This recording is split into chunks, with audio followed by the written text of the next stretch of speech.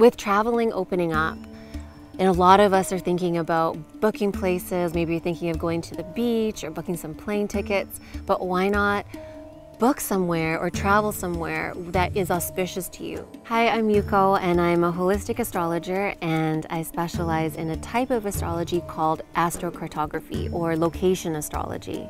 So say you're a cactus and you are placed in the Arctic. It would feel cold, you probably feel really alone, like stunted. No matter how hard you try, things are just not going your way.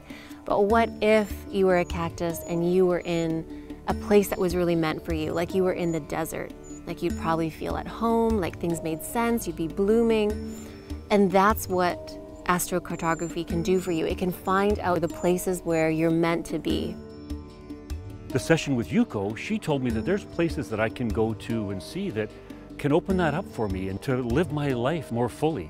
It doesn't necessarily mean I have to live there, but I can bring that energy back with me. I'm fortunate. I'm a seven hour drive from one of those places and I'm gonna go this summer and see what it's all about. If you get a chance to come and see here and spend some time going over this, it doesn't take a long time, but if it's anything for you like it was for me, it may change your life. Things might feel like it's just always a struggle. And I just want you to know that it doesn't have to be that way. So please click the link below and book a session with me. I would love to help you find out where your unique places are. It is so empowering to know this information and I'm really excited to share this with you.